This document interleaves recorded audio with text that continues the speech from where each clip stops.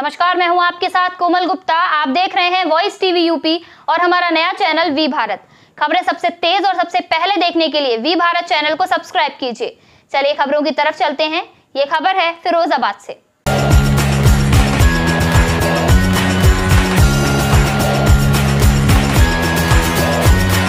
Voice TV UP V Bharat के नए show.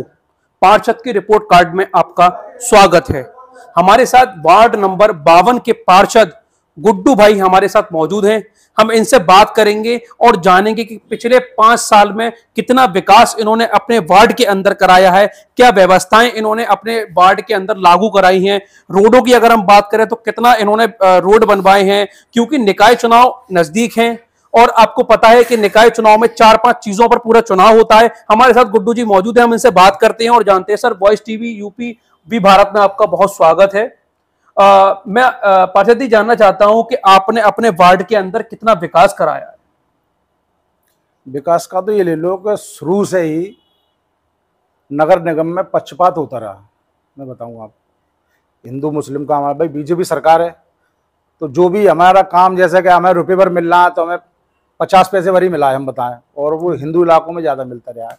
लेकिन फिर भी हमने लगभग लगभग कम से कम चालीस परसेंट काम हमने अपने वार्ड में कराया। है जैसे गलियाँ बनी है तो कम से चालीस परसेंट करीब गली बन गई होंगी अच्छा। अच्छा पानी की व्यवस्थाएँ कैसी रही है वार्ड में? सफ़ाई की व्यवस्था अगर हम बात करें क्योंकि हमने देखा है कि पिछले पाँच सालों में हमारे देश ने नहीं बल्कि पूरी दुनिया ने एक बड़ी महामारी जैसी चीज़ों को झेला है और कोविड का भी टाइम रहा। तो सफ़ाई की व्यवस्थाएँ खास तौर से देखी जाती हैं कि क्या सफ़ाई की व्यवस्थाएँ रही है। तो इस बारे में आप क्या कहेंगे कितना रहा? सफ़ाई की व्यवस्था तो ऐसी है जैसे हमारे सुपरवाइजर है और हमारे कर्मचारी हैं। तो सुपरवाइजर भी हमारा बहुत देख रेख वाला आदमी है सफ़ाई के मामले में सारे जितने इस मुस्लिम इलाकों में जो वार्ड हैं जो भी जाता है ये कहता है सफ़ाई के मामले में बहुत नंबर बन रहा है हमारा वार्ड। और बहुत अच्छी तरीके से सफ़ाई सुथराई होती रही है। जहाँ कहना जैसे पानी का मामला है तो पानी की व्यवस्था सही नहीं रही है। जैसे झेड़ा झाड़ का ये पानी आ रहा है कहीं लाइन पड़ गई है कहीं नहीं पड़ी है कहीं पानी आ रहा है कहीं नहीं आ रहा है कहीं स्लो आ रहा है इससे बहुत परेशानी है आज भी परेशानी है।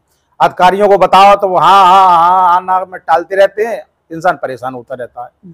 इसकी ज़्यादा परेशानी हमने देखा है कि नई आबादी के क्षेत्रों में पानी की निकासी को लेकर काफ़ी समस्या रही है। हम्म। तो इस क्षेत्र में आपने अपने वार्ड के अंदर किस तरह के काम करवाए हैं? कि नाली की सफ़ाई की व्यवस्था रही है पानी की निकासी को लेकर लोगों की ज़्यादातर शिकायतें रहती हैं वार्डों के अंदर। तो आपने इस क्षेत्र में अपने वार्ड में क्या काम करा तो अभी इसमें कोई निकासी खाली नहीं है जैसे जो पानी जिधर जा रहा है इधर ही भर जाता है। सीवर की सफ़ाई सीवर में सीवर में ऐसा या सीवर शुरू में जो बने थे उसके बाद में मतलब पानी सीवर के बाहर निकल निकल के लोगों घरों में भर गया है।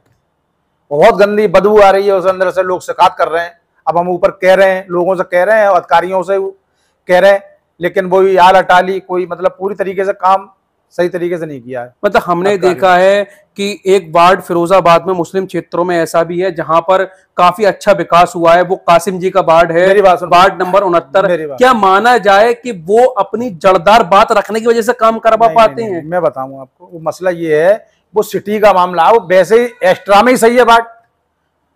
ये नई आबादी को जो बाट आप देख रहे हैं गड्ढे हैं ऊँचे हैं नीचे हैं मतलब आबड़ खूबड़ है वहाँ तो सब एक सा मामला है वहाँ पर तो। वहाँ तो कोई भी पार्षद होगा मामूली सा पार्षद जो जिसका नहीं भी कोई सुना रहा वो भी करवा लेगा वहाँ पर ऐसे इलाकों में काम तो। सिटी का मामला अलग होता है आप तो जानते हैं और नई आबादी में तो आप घर मकान भी नहीं बने हैं टूटे फूटे रोड भी नहीं बने हैं तो उस पर दिक्कत आती है। अच्छा लाइट वगैरह की व्यवस्थाएँ अपने वार्ड में आपने क्या रखी? स्ट्रीट लाइटों का बहुत देखा जाता है अक्सर करके तो वो क्या रहा है? लाइटों में जो है तीन चार बार जब से पाँच साल में तीन चार बार आई होंगी लाइटें अच्छा। जिसमें तीस से पैंतीस चालीस लाइटें ज़्यादा से ज़्यादा आई होंगी। जो भी आई है हमने बाढ़ में अपने लगवा दिए हैं और जो कहीं कहीं कमी कहीं महसूस होती है तो हमने दो एक बार एक एक दो दो करके और भी मंगवा लिए हैं। वैसे लाइट का इतना वो नहीं रहा है लेकिन बस यही है। तो नगर निगम पर आपका साफ़ तौर पर कहना है कि भेदभाव भेदभाव ईमानदारी की बात ये अभी भी चौदह वित्त में पंद्रह वित्त में भी ये काम हुए हैं तो मुसलमानों को नई आबादी में जितने भी मुसलमान है या समझ लो बीस इक्कीस पार्षद मुसलमानों में बाईस पार्षद है मुसलमानों को कोई ऐसा काम नहीं दिया इधर, क्यों? इसलिए नहीं दिया क्योंकि इलेक्शन का टाइम है।